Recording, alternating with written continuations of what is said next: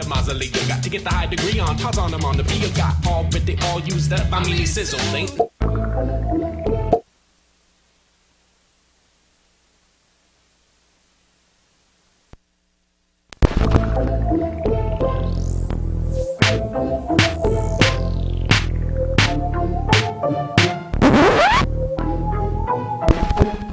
I'm not here to talk about how hot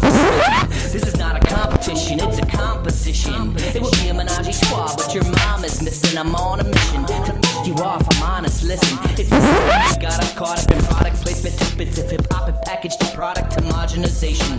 Take a break for station identification. Where hip hop lives is up your roots and spread your cheeks and show the kids what a disgusting piece it's become. But it makes the ladies shake their and admit it is dumb. If half these cats spittin' would have bitten their tongues, then I wouldn't have to spill these beans and silly syllables, syllables killing these chumps. Would someone please tell me what the hell?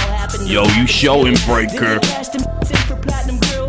Man, that's a. Way to go, big dog. Sucker MCs in the gut and pluck them up like fucking daffodils. And that's so sad it's depressing. A man that's confessing he loves to hate.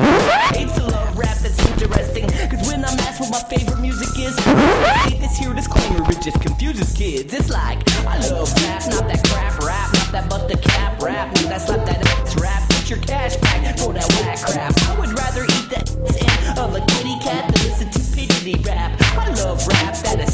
intellectual. You're likely to be the next to blow.